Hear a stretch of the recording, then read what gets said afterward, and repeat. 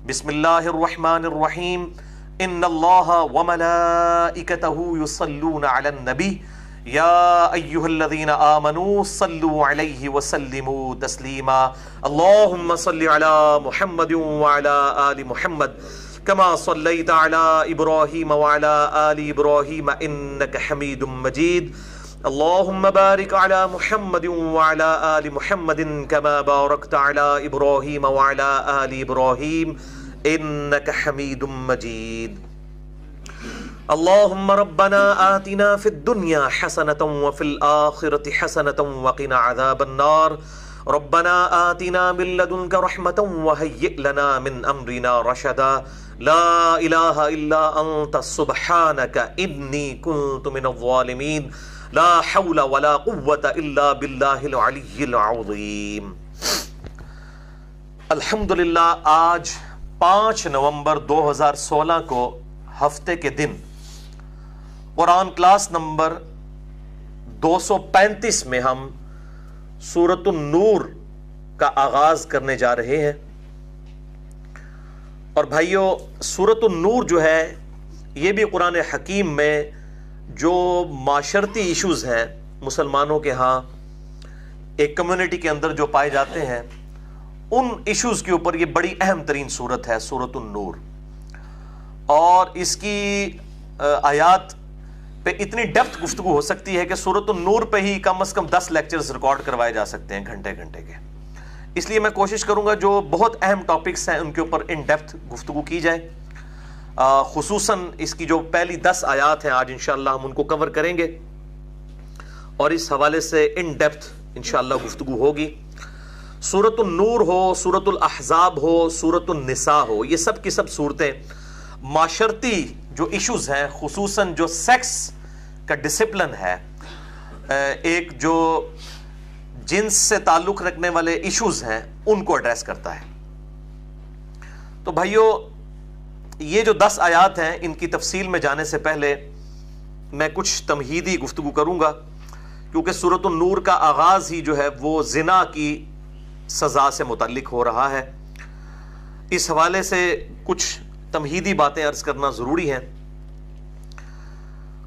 भाइयों, जहाँ तक निकाह की अहमियत का ताल्लुक है और नौजवानों में जो बदनिगाही के हवाले से इश्यूज़ पाए जाते हैं, इसी तरीके से जो हैंड प्रैक्टिस या मुश्तनी का फितना है, इसके हवाले से और साथ ही साथ जो शादीशुदा लोगों के अंदर इश्यूज़ पाए जाते हैं औरल सेक्स के पॉइंट ऑफ़ व्यू से या एनल सेक्स के पॉइंट ऑफ़ व्यू से। और इस किस्म के जितने इश्यूज़ हैं, इन पे मैंने इन डेप्थ गुफ्तु रिकॉर्ड करवा दी है।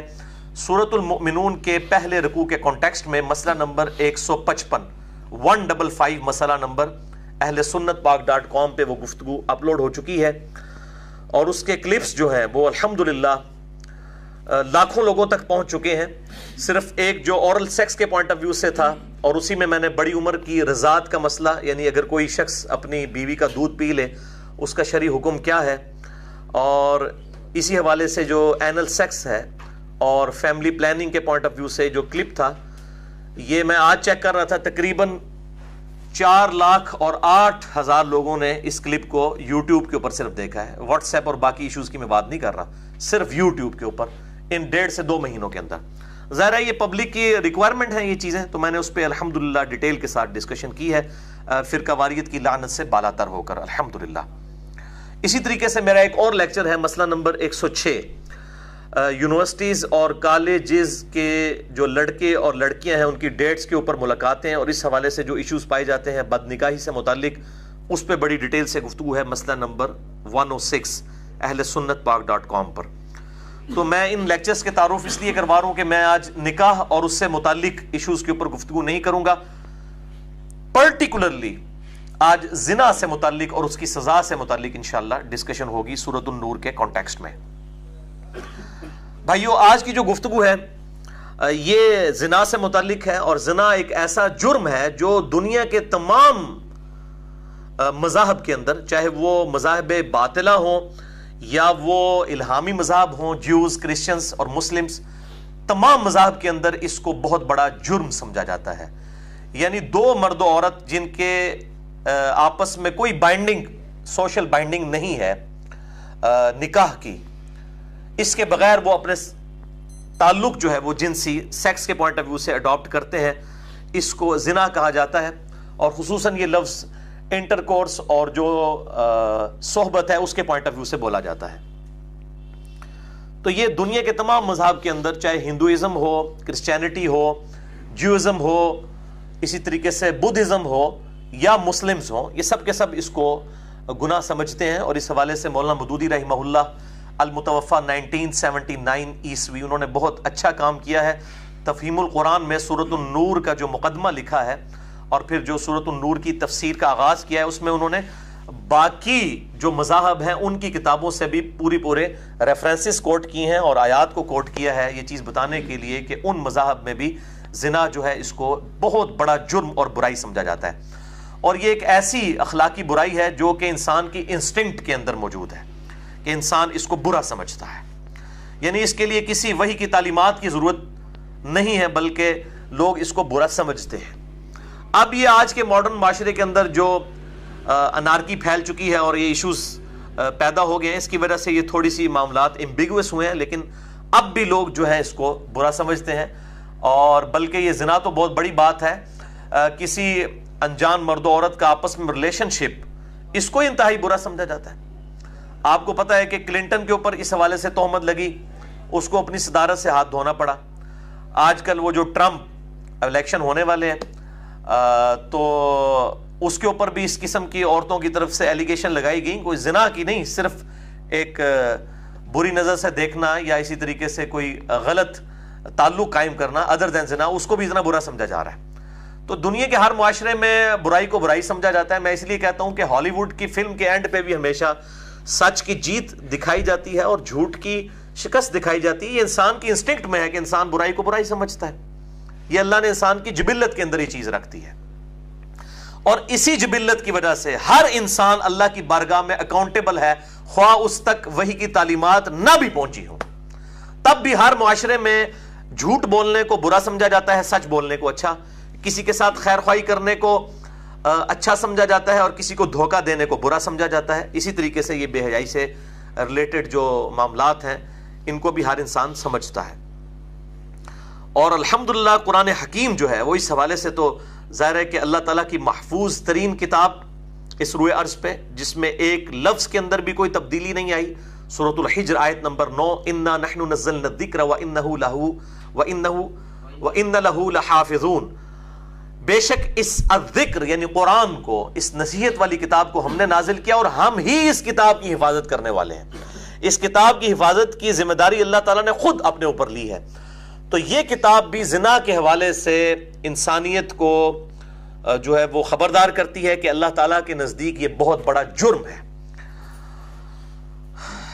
इसी कॉन्टेक्स्ट में सूर्य बनी इसराइल की आयत नंबर 32 है। आउदबिल्लाजीम बिस्मिल्लाहिर्रहमानिर्रहीम सूर्य बनी इसराइल की आयत नंबर 32 में अल्लाह ताला ने जो टेन कमांडमेंट्स का ज़िक्र है, मुसलसल आयत नंबर 17 से लेकर उनतालीस तक उसमें अल्लाह तबारक वाली ने आयत नंबर 23 से उनतालीस तक 17 आयात में पांचवी कमांड जो है, वो यही जिना से मुतलिक है, जो ज्यूज और क्रिश्चियंस को उनकी किताबों के अंदर अल्लाह ताला ने इरशाद फरमाई और कुरान हकीम के ज़रिए अल्लाह ताला ने वही कमांड हम मुस्लिम्स को भी दी सूर्य बनी इसराइल, आयत नंबर 32 पांचवी कमांड। मैंने इन टेन कमांडमेंट्स के ऊपर भी अलग से लेक्चर रिकॉर्ड करवाया है। मसला नंबर 77 के उनवान से अहल सुन्नत पाक डॉट कॉम पे। आउदबिल्लाशैतरजीम बिस्मिल्लाहिर्रहमानिर्रहीम वला तकरबुजना और जिना के करीब भी मत फटकना यह नहीं कहा जिना ना करना, बल्कि जिना की तरफ़ ले जाने वाली चीज़ों से भी बचना। इन नहू काना फाहिशतम वसा सबीला। बेशक ये बहुत बड़ी बेहयाई है और बहुत ही बुराई का काम है। जिना के करीब भी मत जाना, यानी हर वो चीज़ जो जिना की तरफ़ ले जाए। ख्वाह वो कोई सोशल मीडिया पे आने वाली खबर हो, ख्वाह कोई वीडियो हो ख्वाह कोई किसी चौराहे पर लगा हुआ 20 बाई 40 फिट का कोई किसी मोबाइल कंपनी का बेहुदा औरत का इश्तेहार हो, ये सब की सब चीज़ें जो है वो जिना की तरफ़ ले जाने वाली हैं, इनसे बचना। फिर सूरतुल फुरकान में अल्लाह तला ने आयत नंबर 68 में इरशाद फरमाया, तीन बड़े गुनाहों का ज़िक्र करते हुए कि जो अहले ईमान है, वो इन तीन गुनाहों से पर्टिकुलरली ज़रूर बचते हैं। आउदबिल्लाजीम बिस्मिल्लाहिर्रहमानिर्रहीम वल्लदीन इलाहन आखर वो लोग जो अल्लाह के साथ किसी और को इलाह नहीं ठहराते, अल्लाह के साथ शिरक नहीं करते। वला यकतुलून नफ्सल्लती हर्रम अल्लाहु इल्ला बिल हक और किसी जान को ना हक कत्ल नहीं करते हैं, कि जिसकी हरमत अल्लाह ने रखी है। हाँ, बफतवा शरीयत कर सकते हैं और वो भी अदालत करेगी, कोई शख्स खुद कानून अपने हाथ में नहीं ले सकता। यानी कत्ल के बदले कत्ल होगा। वो आगे इंशाल्लाह मैं डिटेल भी बयान करूँगा। वला यजनून, और ना वो जिना करते हैं। वमई का यल का असामा, और जो कोई ये गुनाह करेगा, अन करीब इन गुनाहों के अंजाम तक पहुँच जाएगा। तो तीन गुनाहों का ज़िक्र सूरतुल फुरकान, आयत नंबर 68 में हुआ। नंबर एक, शिरक। नंबर दो, कत्ल ना हक। और नंबर तीन, जिना। ये सबसे बड़े तीन गुनाह हैं। और इसी की स्पोर्ट में सही बुखारी और सही मुस्लिम की मुतफकुन हदीस है। बल्कि मिशकात में जो गुनाह कबीरा का जो चैप्टर है, पहली ही जिल्द के अंदर, उसकी पहली हदीस ही यही है। और मिशकात को मैंने नाम दिया है इंसाइक्लोपीडिया ऑफ़ हदीस बुखारी, मुस्लिम अबूदाऊद तिरमजी, नसाई, इब्न माजा और इसके अलावा भी और किताबें, कुल तेरह किताबों से, अल्हम्दुलिल्लाह, ये इंसाइक्लोपीडिया ऑफ़ हदीस है, मिशकातुल मसाबी। इसमें मैंने पूरा लेक्चर भी रिकॉर्ड करवा दिया है, मसला नंबर 111 बी के उनवान से, अहले सुन्नत पाक डॉट कॉम पर तो आज मैं मिशकात के नंबर भी साथ साथ बताता जाऊँगा। ताकि मिशकात, चूँकि हर एक बंदे के पास अवेलेबल है इंटरनेशनल नंबर के मुताबिक छः हज़ार दो सौ चौरानवे अदीस हैं इसमें। बुखारी और मुस्लिम में जो अदीस आई बाकी किताबों में, जो रेपिटिशन को छोड़ के उन्होंने एक इंटेलेक्चुअल तरतीब के साथ ये किताब लिखी है। हमारी वेबसाइट अहल सुन्नत पाक डॉट कॉम पर तीन जिल्दों पे ये मौजूद है, उर्दू तर्जमे के साथ, अरबी प्लस उर्दू तर्जमा। शेख ज़ुबैर लिजई रहीमहुल्ला की तहकीक और तहकीम के साथ, उसके साथ तकरीज भी हुई हुई है। कि ये प्राइमरी बुक कौन सी है? मिशकात ने अगर ये हदीस बुखारी से ली है तो बुखारी के किस चैप्टर से ली है? कौन सी हदीस नंबर है? इस लेवल तक जो है वो तखरीज है और तहकीम भी है। यानी बुखारी मुस्लिम के अलावा जो अहादीस आई हैं दूसरी किताबों से उनमें कौन सी अहादीस सही हैं, कौन सी ज़यीफ़ हैं? इसके ऊपर भी हुक्म लगे हुए हैं। अहल सुन्नत पाक डॉट कॉम पर तीन जिल्दों पर मिशकातुलमसाबी का पी डी एफ़ तकरीबन आप समझ लें, कोई 18 18 एम बी की तीन जिल्दें हैं, वो डाउनलोड करें और मेरा लेक्चर 111 बी ज़रूर सुने। उसमें आपको ये सारी चीज़ें पता चल जाएँगी, इंटरनेशनल नंबरिंग क्या है, इसको किस तरीके से स्टैंडर्ड किया गया है और मिशकात की क्या अहमियत है। तो बहरल उसी मिशकात में बुखारी और मुस्लिम के हवाले से पहली हदीस ले आए हैं। इमाम वलीउद्दीन तबरेज़ी और इमाम बगवी रहीमहुल्ला मिशकात में इंटरनेशनल नंबर के मुताबिक 49 नंबर है और बुखारी और मुस्लिम के हवाले से लेके आए हैं। इसलिए मैं बुखारी मुस्लिम का नंबर नहीं बता रहा, उसकी ज़रूरत नहीं है।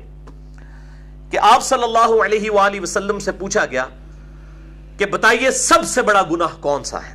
तो आप सल्लल्लाहु अलैहि वसल्लम ने इरशाद फरमाया कि सबसे बड़ा गुनाह यह है कि तुम अल्लाह के साथ किसी को शरीक ठहराओ, हालाँकि पैदा तो अल्लाह ने तुम्हें किया है। तुम्हारी तखलीक अल्लाह ने की है और तुम अल्लाह के मुकाबले पे किसी को ठहरा लो। यानी बड़ी पॉइंट की बात है कि जिसने पैदा किया है, बाकी सब के सब मखलूक हैं, वो किसी भी सिफ्त में अल्लाह ताला के साथ कॉमन नहीं हो सकते। इल्ला यह कि किसी मामले में अल्लाह ताला ने इंसान को कोई चीज़ें अता फरमाई हैं और अल्लाह ताला ने अपनी सिफात अता फरमाई इस हवाले से, सुनने और बोलने की जो कैफियत अल्लाह ताला ने इंसान को दी। और इस हवाले से मैंने बड़ी डिटेल से गुफ्तु मसला नंबर थ्री रिकॉर्ड करवा दी है। दुआ सिर्फ़ अल्लाह ही से। और उसी की एक्सटेंशन है मसला नंबर 43 वसीला और तवसल के सही अहकाम मसाइल, जिसे शौक हो तो अहल सुन्नत पाक डॉट कॉम पर देख सकता है।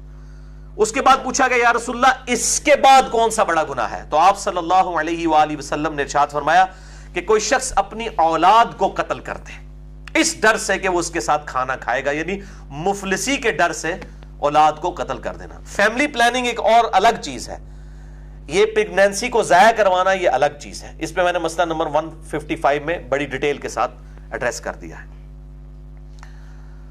फिर पूछा गया उसके बाद तो फरमाया, कोई शख्स अपनी पड़ोसी की औरत के साथ जिना करे। यानी जिना तो वैसे ही बुरी चीज़ है और फिर अपने हमसाय की औरत के साथ करे तो ये बहुत बड़ा जुर्म है। और फिर आप सल्लल्लाहु अलैहि वसल्लम ने फरमाया कि अल्लाह ताला ने भी कुरान में इन तीनों गुनाहों की तस्दीक कर दी है कि ये तीन बड़े बड़े गुनाह हैं जिनसे अहले ईमान महफूज रहते हैं। पूरी तगोदो करने के बाद और फिर आप सल्लल्लाहु अलैहि वसल्लम ने सूरतुल फुरकान की वही आयत तलावत की, आयत नंबर 68 वल्लदीन ला यदऊन मअल्लाहि इलाहन आखर वला यक्तुलून नफ्सल्लती हर्रम अल्लाहु इल्ला बिल हक वला यजनून। तो ये आप सल्लल्लाहु अलैहि वसल्लम की भी आदत थी कि आप अपनी गुफ्तगू की स्पोर्ट में भी कुरान से आयात पेश किया करते थे। तो गुफ्तगु की स्पोर्ट में कुरान और सुन्नत को, अहदीस को पेश करना, ये हमारे महबूब सल्लल्लाहु की सुन्नत है। और भाइयों, इसी हवाले से मिशकात में 53 नंबर हदीस है, सही बुखारी और सही मुस्लिम की मुतफकुन हदीस, उसी चैप्टर में। कि आप सल्लल्लाहु अलैहि वसल्लम ने फरमाया है कि जब जानी जिना करता है तो वो उस वक्त मोमिन नहीं रहता, उसमें से ईमान निकल जाता है। और इसी की एक्सटेंशन है सुन बिदऊद में एक हदीस है जो मिशकात में साठ नंबर पे है कि आप सल्लल्लाहु अलैहि वसल्लम ने फरमाया कि जब जानी जिना करता है, वो उस वक्त मोमिन नहीं रहता। मुस्लिम के तो अल्फाज हैं और साथ अगले अल्फाज हैं कि उसका ईमान उसमें से निकल कर उसके सर पर मंडलाने रखता है छतरी की तरह। हत्या कि वो शख्स तौबा करे और अल्लाह की तरफ़ रुजू लाए तो फिर ईमान वापस आता है। बोले आजुबिल्ला तो ये बड़ा ख़तरनाक मामला है। और इस हवाले से वो हदीस भी बड़ी, बहुत डराने वाली हदीस है। सही बुखारी और सही मुस्लिम की मुतफ़ुन हदीस है। और मिशकात में मौजूद है इंटरनेशनल नंबर के मुताबिक 86 नंबर, कि आप सल्लल्लाहु अलैहि वसल्लम ने फरमाया कि आँखों का जिना देखना है, कानों का जिना सुनना है, हाथों का जिना पकड़ना है और पाओं का जिना चलकर जाना है, और दिल का जिना सोचना है नफ्स आरज़ू करता है और शर्मगा उसकी तस्दीक कर देती है बोले आउदबिल्ला ये बहुत इस हवाले से अलार्मिंग चीज़ है और मैंने अलग से भी मसला नंबर 155 में भी इसको एड्रेस किया था। बहरल ये सूरतुल फुरकान के नंबर 68 को मैंने डिस्कस किया। सूरतुल का जो आखिरी रुकू है, ये बहुत अहम है। और खसूस आखिरी जो पंद्रह आयात हैं, इनके कॉन्टेक्स्ट में मैंने मसला नंबर 120 भी रिकॉर्ड करवाया है अहल सुन्नत पाक डॉट कॉम पर। अहल ईमान की बारह खसूसियात, बारह औसाफ अल्लाह के सही अलिया के क्या हैं? उनमें मैंने ये बड़ी डिटेल के साथ सूरतुल फुरकान की आखिरी पंद्रह आयात को, जिसमें आयत नंबर 68 भी शामिल है डिस्कस किया है। जिसे शौक हो तो वो उसको देख सकता है। अब इस तमहीदी गुफ्तु के बाद आ जाइए सूरतुल सूरतुल नूर आयत नंबर वन से आगाज़ करते हैं। सूरतुल नूर जो है, ये मदनी सूरत है और इसमें माशरती इशूज जो है, उनको डिटेल के साथ एड्रेस किया गया है। आउदबिल्लिन शैतवानरजीम बिस्मिल्लाहिर्रहमानिर्रहीम सूरतुन अनजलनाहा व फरदनाहा। ये एक अजीम शान सूरत है जो हमने नाजिल फरमाई है और इसमें हमने अपनी तरफ़ से कुछ चीज़ें फ़र्ज़ कर दी हैं। यह शहाना अंदाज किसी और सूरत का नहीं है, जो इस सूरत का आगाज़ है, कि ये वो अजीम शान सूरत है जो हमने नाजिल फरमाई और इसमें हमने अहकाम मुकर फरमाए। ज़ाहिर बड़े अहम अहकाम आने वाले हैं। वह अनजलना फीहा आयातिम बैनात और इसमें हमने नाजिल फरमाई है अल्लाह ताला की रोशन आयात लाकुम तजक्करून, ताकि तुम नसीहत हासिल कर सको। अजानियत वजानी जिना। करने वाली बदकार औरत और जिना करने वाला मर्द। फजलदू कुल्ला मिन हुमा मियाता जल्दा। उन दोनों में से हर एक को सौ सौ कोड़े लगाए जाएँगे। यानी सौ कोड़े मर्द को और सौ ही औरत को। और इसमें इंप्लाइड है कि वो अगर शादीशुदा ना हो, इसमें मैं डिटेल से गुफ्तु इंशाला करूँगा। वला खुद कुम बिहिमा फ़ी दीन और देखना, अल्लाह ताला की तरफ़ से यह सजा एस्टेब्लिश करते हुए यह हदूद जारी करते हुए, तुम्हारे दिल में किसी के लिए नरमी ना आ जाए। जो सही बुखारी और सही मुस्लिम की मुतफक हदीस है, और मिशकात में भी मौजूद है हदूद में जो नरमी करने वाले मामला हैं, उस चैप्टर के अंदर कि आप सल्लल्लाहु अलैहि वसल्लम के पास एक फातिमा नामी औरत उसकी चोरी का मुकदमा पेश किया गया और उसके लिए सिफारिश की गई उसामा इबन जैद के ज़रिए से। तो आप सल्लल्लाहु अलैहि वसल्लम सख्त जलाल में आए, आप सल्लल्लाहु अलैहि वसल्लम के लिए स्पेशल मेंबर रखा गया, आपने असहाब को खुतबा दिया अलहमरदवान और कहा, तुमसे अगले लोग इसीलिए हलाक हो गए कि उनके अशराफिया के लिए और कवानीन होते थे और गरीब लोगों के लिए और। अल्लाह की कसम, अगर मेरी बेटी फातिमा भी चोरी कर देती तो मैं उसके भी हाथ कटवा देता। तो आप सल्लल्लाहु अलैहि वसल्लम ने, और फिर आप सल्लल्लाहु अलैहि वसल्लम ने उसमें सहाबा कराम को डांटा कि तुम अल्लाह के हदूद के मामले में मुझसे नरमी का मुतालबा करते हो। तो आप सल्लल्लाहु अलैहि वसल्लम रहमतुल्लिल आलमीन थे, कोई शक नहीं है। लेकिन जहाँ अल्लाह की हदूद आती थी, वहाँ फिर राम वाला मामला नहीं होगा। बल्कि फिर अल्लाह ताला की जो हदूद है, उनको इस्टेब्लिश करना होगा, उनको जारी करना होगा। तो ये दो अलग चीज़ें इनको बात को समझे। तो यहाँ कुरान हकीम में आए कि जरा तुम्हारे दिल में नरमी ना आए, जरा रहम ना आए इस मामले में, अल्लाह के दीन की इस सजा को स्टैब्लिश करते हुए, इन कुन तुम तुमिनूना बिल्ला अगर तुम वाकई अल्लाह पर ईमान रखते हो, वल यौमिल आखिर, और आखिरत पर तुम्हें डर है कि अल्लाह के हजूर पेश होगे तो तुम ये हरकत नहीं करोगे कि तुम्हारे दिल में नरमी आ जाए। वल यश हद और इस सजा के ऊपर, यानी ये जो सजा दी जा रही हो सो सो कोड़े लगाए जा रहे हो, इस पर गवाही दें। अजाबहुमा, इस सजा के ऊपर तोफ़तुम मिनल मुमिनीन, अहले ईमान का एक ग्रोह इस पर गवाह भी हो, यानी पब्लिकली यह गुनाह की सजा एस्टेब्लिश की जाए। ताकि सजा एक को हो या दो को और डेटरस और दहशत बन जाए बाकी पूरे माशरे के लिए। यह आज दहशत जो है वो कायम की जाए तो आप देखें किस तरीके से जना खत्म होता है। दुनिया में सबसे कम जना दो मुल्कों में होता है। नंबर एक सऊदिया नंबर दो ईरान, क्योंकि वहाँ पर इस्लामी सजाएँ नाफिज है। और सबसे ज़्यादा जिना अमेरिका के अंदर होता है। तो वैसे लोग कहते हैं बड़ी सख्त सजा है। हालाँकि इन्हीं से पूछें कि अगर आप किसी गोरे से पूछ लें, जो ये कहता है, सजा सख्त है, उसको कोई सजा को तो छोड़ो, बताओ, अगर तुम्हारी बच्ची के साथ कोई ये करे, वो कहेगा, मैं गोली मार देगा उन्होंने तुम्हारी माँ के साथ करे, वो कहेगा, मैं गला काट दूँ उसका। तो जब इस्लाम ने जब सजा रखी है तो उसको कहते हैं, जालमाना सजाएँ है। और ये भी इसमें आगे चल के आएगा, ये इस तरह सजा स्टैब्लिश नहीं होगी, बल्कि कम अज कम चार गवाह इस हवाले से पेश भी करने होंगे। फिर जाके ये सजा स्टैब्लिश होगी। इतना आसान मामला नहीं है। और ज़ाहिर ये सजा भी जनाबिल जबर के ऊपर जो है वो सिर्फ़ उसको ही होगी जो ये ज्यादती करेगा। जिसके साथ हुई, उसके ऊपर सजा नहीं। और अगर जनाबिल रजा करेंगे, फिर दोनों के साथ ये मामला होगा। फिर शादीशुदा होंगे तो संसार किए जाएँगे और गैर शादीशुदा होंगे तो उनको सौ सौ करोड़ों की सजा दी जाएगी। इसमें मैं डिटेल से गुफ्तू करता हूँ। पहले इन आयात को हम कवर कर लेते हैं। तो डेटरस के लिए कहा गया कि पब्लिकली इस गुनाह के ऊपर लोग इसको वेट करेंगे, शहादत देंगे ताकि बाकियों के लिए इबरत हो जाएगी। इस हवाले से दिल में कोई नरमी ना आए। अजानी ला इल्ला जानिया।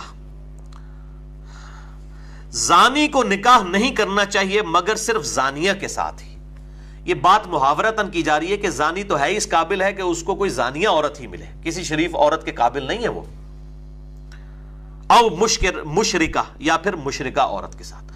अब ये अजीब बात है कि दुनिया में जितने बदकारी में मुबतला लोग हैं, अगर आप उनसे पूछें कि आपकी बीवी कैसे होनी चाहिए तो वो कहते हैं, जी, वो निकाब करें। और अपनी हरकतें उनकी आप देख लें किस किस्म की होती हैं। तो अल्लाह ताला फरमा रहा है कि ये जो इस तरह इस तरह के जो बदकार मर्द है ना, ये तो काबिल इसके हैं इनको बदकार औरतें ही मिले। ये इन्हीं औरतों के काबिल हैं, या मुशरका औरतों के। वह के इल्ला जान। और जानिया निकाह न करे मगर एक जानी मर्द के साथ और मुशरक या मुशरक मर्द के साथ। वह हुर्रिम वह हुर्रिमिन और ये जो जानी औरतें हैं, ये अहले ईमान मर्दों के लिए तो हराम कर दी गई है। इल्ला यह है कि कोई औरत तौबा कर ले, बड़े सच्चे दिल के साथ, और वो नेकी के रास्ते के ऊपर आ जाए तो फिर उसको ज़ाहिर है उस गुनाह के ऊपर आर नहीं दिलाई जाएगी। इस किस्म की इमेज भी मुझे आती हैं लोगों की तरफ़ से कि हम ऐसी औरतें जो इस किस्म के मामला में मुबतला हैं, अगर वो सच्चे दिल से तोबा कर लें तो हम क्या उनके साथ निकाह कर सकते हैं? तो बहुत नेकी का काम है। और लेकिन उनको फिर उस माहौल से दूर रखा जाए, क्योंकि ऐसी औरतों को फिर इस किस्म की बुराई की आदत पड़ चुकी होती है। तो नेकी का काम है, अगर वो तोबा कर लें। वल्लदीन यरमून अलमुहसनात और जो कोई तोहमत लगाते हैं मुहसिना पाक बाज पाक दामन औरतों पर सुम्मा लम बी अरबाती शुहदा। और उसके बाद वो चार गवाह नहीं पेश कर सकते। यानी किसी पर तोहमत लगाई कि इसने जना किया है, फिर चार गवाह नहीं ला सके। और चार गवाह भी ऐसे होने चाहिए जो एग्जैक्ट इंटर कोर्स की हालत में जिन्होंने देखा हो। बुखारी, मुस्लिम की हदीस इस पर गवाह है। सिर्फ़ एक बिस्तरे पर देखने से उनके ऊपर हद नहीं जारी होगी, बल्कि इंटर कोर्स की हालत में। और तीन भी अगर देखेंगे, चाहे वो तीन देखने वाले से अभी क्यों ना हो, तब भी स्टैब्लिश नहीं होगी। जब तक चार गवाह पूरे नहीं होंगे। क्योंकि सजा बहुत सख्त है, इसलिए फिर असल में इस्लाम कंडेम करता है कि अगर कोई ये बुराई देख भी रहा है, उसका ऊपर पर्दा डाल दे। वो बुहारी मुस्लिम में अहदीस आ रही है, ताकि माशरे में ये चीज़ ना फैले फजलिदूहम समानीना जल्दा। तो जो कोई ऐसी फिर तोमत लगाते हैं, अब चाहे उन्होंने सही भी लगाई हुई है, अगर चार गवाह नहीं ला सके तो उनको फिर अस्सी कोड़े लगाए जाएँगे। अब देखें, उनको सो करने वालों को अस्सी इन्होंने नेड़े नेड़े ही, उन्ने के तकरीबन है ना। ताकि भाई, तुझे क्या ज़रूरत थी इस गुनाह को आम करने की, अदालत में पेश करने की? तूने कौन से ऐसे नेकी कमा ली है बजाय कि उनको समझाओ, ठीक है, तोबा कर ले। और यह भी याद रखें कि जिना जब अदालत में रिपोर्ट होगा ना, उसी वक्त और गवाहों के साथ फिर उसके ऊपर मामला आगे जारी होंगे। अगर मर्द औरत ने जना किया और उन्होंने अकेले में अल्लाह से तोबा कर ली तो यह तोबा काफ़ी होगी, उनके ऊपर हाथ जारी करना ज़रूरी नहीं होगा। वंश अदालत में मामला रिपोर्ट हो गया। फिर जो है उनके ऊपर हाथ जारी होगी अगर वो एतराफ जुर्म कर लेते हैं। और ये ज़रूरी नहीं अगर किसी से गुना हो गया तो जाके इतराफ जुर्म करे। आप सल्लल्लाहु अलैहि वसल्लम ने इसको भी नापसंद फरमाया। आपके सामने तरह लोग आए और आपने उनसे रूह अनवर फेर लिए और फरमाया, जाओ, तोबा करो। अल्लाह ताला माफ़ करने वाला है। जब तक इन्होंने चार दफ़ा अपने खिलाफ खुद गवाही नहीं दे दी, मैं बुखारी मुस्लिम की हदीस भी इसमें पेश करूँगा। तो इस हवाले से लोग पूछते भी हैं तो तोबा करें और अल्लाह की तरफ़ रुजू लाएँ। इसी तरीके से किसी शख्स ने चोरी की है तो चोरी करने के बाद उसे एहसास हुआ तो जिसकी उसने चोरी की, उससे जाकर अलग से माफ़ी मांग ले तो फिर उसके हाथ नहीं काटे जाएँगे। वो माफ़ी मांग लेना काफ़ी होगा। लेकिन वंश अदालत में रिपोर्ट हो गया और वो पकड़ा गया। अब वो कह रही, मैं माफ़ी मांग लेना, मैं दुगना दे देना। नहीं। अब पब्लिकली जो रिपोर्ट हुआ है गुना अब उसके हाथ काटे जाएँगे। वरना इस तरह की चीज़ जब पब्लिकली रिपोर्ट होती है, फिर सजा नहीं दी जाती तो गुना फैलता है। इसकी हिकमत समझे। ये दहशत के लिए है डेटरेंस के लिए है। कि जब गुना अदालत में रिपोर्ट होगा तो अब अदालत का काम है सजा देना अदरवाइज़ तो गुना आम हो जाएगा। और लोगों को खुली छुट्टी मिलेगी। और जब चीज़ आम नहीं होगी, इस तरीके से पब्लिकली नहीं फैलेगी, फिर इस तरह के मामला के ऊपर जो है वो, उसके ऊपर पर्दा ही डाला जाएगा। बहरल अब इसमें मॉडर्न दौर के हवाले से यह भी गुफ्तु की जाती है कि चार गवाह नहीं मिले, अब किसी औरत के साथ जना बिलजबर हुआ है तो अब वो कहाँ से चार गवाहों को तलाश करें तो उसमें फिर साइंटिफिकली ज़ाहिर है कि मदद लेने में कोई हर्ज नहीं है। अगर आपको कॉन्फिडेंस है कि डीएनए टेस्ट और इन चीज़ों के ज़रिए बिल्कुल ईमानदारी के साथ कोई रिपोर्ट जनरेट करता है और इस तरह की चीज़ें इस्टेब्लिश हो जाती हैं तो फिर इसमें इजतहाद करने की ज़रूरत है। ज़ाहिर है कि इस्लाम ने जो चार गवाहों का कहा है, उस वक्त तो यही किया जा सकता था ना। इसी तरीके से अगर कोई वीडियो में इस तरह की चीज़ आ जाती है, ज़ाहिर जाली वीडियो भी बन जाती है, उसमें पूरे तरीके से अगर तहकीक की जाए और किसी शख्स को उसकी वीडियो दिखाई जाती है और पब्लिकली वो आम हो जाती है और फिर वो खुद इतराफ़ जुर्म कर लेता है। फिर तो उसके ऊपर गवाह लाने की ज़रूरत नहीं है कि वो इतराफ़ जुर्म कर लेता है तो फिर उसके ऊपर सजा जारी की जाए। इसी तरीके से अगर कोई औरत, इसकी वजह से क्योंकि ये ज़ियाउल के ज़माने में भी हदूद ऑर्डिनेंस पास किया गया, उसकी वजह से कई औरतें जिनके साथ ज्यादतियाँ हुई, उल्टा उनको जेल में डाल दिया गया, उसकी वजह से इस्लाम की बड़ी बदनामी हुई, वो गवाह नहीं ला सकी। तो इसमें अब साइंस चूँकि तरक्की कर चुकी है और अगर डीएनए टेस्ट के ज़रिए ये चीज़ें स्टेब्लिश हो जाती हैं कि वाकई इस तरह के कोई मामला हुए हैं और वो पूरा डेफिनेट इल्म है तो उसके बाद फिर आ, किसी चीज़ की ज़रूरत नहीं रहती। ज़ाहिर उस वक्त तो इसी तरीके से ही काम किया जा सकता था ना कि चार गवाहों को लाया जाता। तो इस मामले में जो है ना इश्तहाद की ज़रूरत है। ज़ाहिर इश्तहाद का दरवाज़ा तो क्यामत तक के लिए खुला है। इस्लामी सजाएँ कोई नहीं बदल सकता। ये जो कहते हैं ना, शरीयत बदल दी है जी, अब वीडियो के ऊपर और डीएनए टेस्ट के ऊपर फैसले हो रहे हैं तो ये शरीयत बदल, शरीयत नहीं बदली, शरीयत तब बदली जाएगी जब कोई चोरी और जिना की सजा को बदल दे। हदूद तो अपनी जगह मौजूद है, उस हदूद तक पहुँचने का ज़रिया क्या है? कि अगर वो मुजरिम खुद इतराफ जुर्म कर ले, मैं बुखारी मुस्लिम से हदीस पेश करूँगा। कोई गवाह नहीं है, उसने खुद इतराफ जुर्म कर लिया। एक औरत है, उसने खुद इतराफ जुर्म कर लिया तो आप पीछे कौन सी गुंजाइश रह जाती है? इस तरीके से अगर वीडियो सामने आ जाती है या कोई डीएनए टेस्ट आ जाता है और उसके साथ ये स्टैब्लिश हो जाती है चीज़ तो उसको सारी चीज़ें बताई जाए और पब्लिकली जब चीज़ आ जाए तो उसको सजा ज़रूर देनी चाहिए।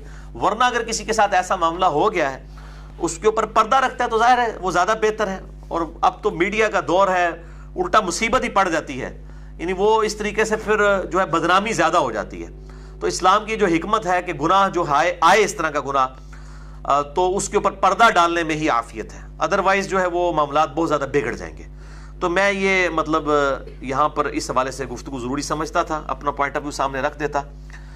तो कहा गया कि अस्सी कोड़े लगाए जाएँगे, इसको फिर हम कजफ कहते हैं।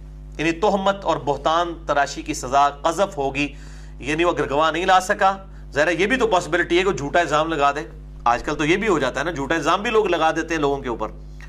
तो फिर उसको अस्सी कोड़े लगाए जाएँगे ज़ाहिर वो फिर अगर उसके पास सबूत नहीं है, बगैर सबूत के वो अदालत में अगर जाना चाहता है तो फिर वो अपनी शामत फिर उसकी फिर आएगी।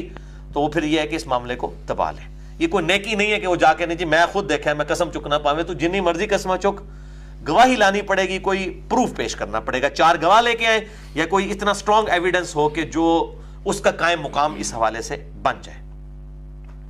वला तकबलू लहुम शहादतन अबदा। फिर ऐसे शख्स की शहादत गवाही भी कभी नहीं कबूल की जाएगी, जिसने इस तरीके से झूठी तोहमत लगाई है, या उसने तोहमत तो सही लगाई, लेकिन वो गवाह नहीं पेश कर सका, चार पूरे नहीं कर सका, कोई स्ट्रॉन्ग एविडेंस नहीं दे सका तो अब ऐसे शख्स की किसी भी मामले में गवाही कबूल नहीं की जाएगी हमेशा के लिए। वह उलाकून फिर ऐसे लोग होंगे फासिक। अलबत्ता इल्लदीन ताबू मिन बादी दालिक हाँ मगर जो कोई तौबा कर ले इसके बाद वह असलहू और अपनी इसलाह भी कर ले। फ़िन अल्लाह गफूर रहीम तो बेशक अल्लाह ताला बख्शने वाला है और मेहरबान है। फिर उनकी फिर तो जो है इस हवाले से गवाही तौबा के बाद कबूल कर ली जाएगी। और इसी कॉन्टेक्स्ट में बुखारी और आ, मुस्लिम में अहदीस मौजूद हैं जो सईदा आयशा के ऊपर रदी अल्लाह के ऊपर तोहमत लगाई गई। हदीस इफ़्क उसे कहते हैं। हदीसुल इफ़्क।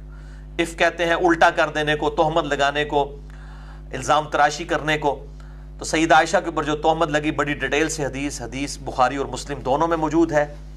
और उस हदीस को इंशाल्लाह हम अगले लेक्चर के अंदर डिटेल के साथ कवर करेंगे। उसी कॉन्टेक्स्ट में सुनबी दाऊद और जामिया तिरमजी में मौजूद है। मिशकात में इंटरनेशनल नंबर के मुताबिक तीन हज़ार पाँच सौ उनासी number three five seven nine के सईद आयशा पे जिन तीन असहाब ने तोहमत लगाई थी, दो मर्द और एक औरत। और औरत भी कोई आम नहीं थी। उम्मुल मुमिनीन सईदा जैनब की बहन थी। उस पे भी और सैदना हसान इबन साबित पे भी और एक और सहाबी थे। दो जो है वो मर्द सहाबी और एक औरत। उसके ऊपर फिर कजफ लगाई गई थी। उनको अस्सी कोड़े लगाए गए थे जिन्होंने सईदा आयशा के ऊपर इस हवाले से तोहमत लगाई थी। मिस्ताह, वो सईदना अबू बकर के रिश्तेदार भी थे। सईदना मिस्ताह रदी अल्लाह हो और सैदना हसान इबन साबित रदी अल्लाह हो और सैदा जैनब की बहन थी रदी अल्लाह तहा इन तीनों के ऊपर जो है वो कज़फ़ लगाई गई, अस्सी कोड़े लगाए गए। वो इंशाल्लाह मैं अगली दफ़ा डिटेल के साथ इन अहादीस को डिस्कस करूँगा। अब हम इसी कॉन्टेक्स्ट में कुछ अहादीस हैं, उनको कवर करते हैं। उसके बाद इंशाल्लाह अगली जो पाँच आयात हैं, उनमें लियान का मसला आया, मैं उसको भी डिस्कस करूँगा।